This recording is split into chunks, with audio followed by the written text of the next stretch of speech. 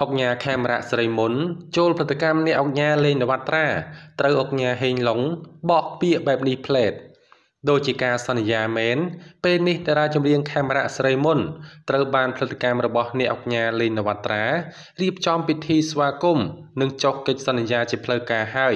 នៅល្ងាចថ្ងៃទី13ម្សិលមិញនេះនៅភោជនីយដ្ឋានទន្លេបាសាក់2មិនខុសពីតារាចម្រៀងព្រាបសវត្តប៉ុន្មានឡើយក្នុងនាមជាតារាចម្រៀងលំដាប់ជួរមុខ ខេមរៈស្រីមុនក៏ទទួលបាននូវការរៀបចំ ពិធីទទួលជាតារាចម្រៀងពេញសិទ្ធនៅក្នុងព្រឹត្តិកម្ម Galaxy ដោយមានការចូលរួមអបអរសាទរពីសំណាក់អ្នកសិល្បៈនិងបណ្ដាញសារព័ត៌មានយ៉ាងអធិកអធមជាមួយវត្តមានរបស់តារាចម្រៀងដែលមានងារជាអុកញ៉ាខេមរៈស្រីមុនធ្វើឲ្យអុកញ៉ាហេងឡុងដែលត្រូវជាដៃគូជំនួយរបស់អ្នកអុកញ៉ាលេងនវត្រាលើកពាក្យជូនពរ មិនត្រឹមតែប៉ុណ្ណោះទេ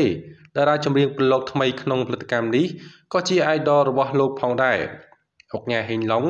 បានលើកឡើងយ៉ាងខ្លីថាជូនពរ idol កាន់តែល្បីនិងជោគជ័យមិនមែនលំលំទេ មានការប្រឡយថាខេមរៈស្រីមុន បានសំងំថតបទចម្រៀងឲ្យត្រនំថ្មី ជាច្រើនបទជាក់ស្ដែងគ្រាន់តែចូលភ្លាម ខាងផលិតកម្មក៏បានបញ្ចេញបទចម្រៀងមួយបទដែលមានចំណងជើងថា ពេលខ្លះវាអេមដែរ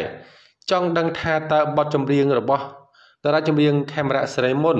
ក្នុងផលិតកម្ម Galaxy ផ្លាយនឹងតាកទាញយ៉ាងណាខណៈមួយរយៈចុងក្រោយនេះប្រជាប្រិយភាពរបស់តារាចម្រៀងរូបនេះហាក់ស្ងប់ស្ងាត់ក្រោយលោកអុកញ៉ាងាកទៅពង្រឹងការងារអចលនទ្រព្យតកតងទៅនឹងការចូលព្រឹត្តិកម្មនេះមិនទាន់មានការបញ្ជាក់ពីតម្លៃខ្លួនរបស់តារាចម្រៀងខេមរៈសេរីមុននៅឡើយនោះទេ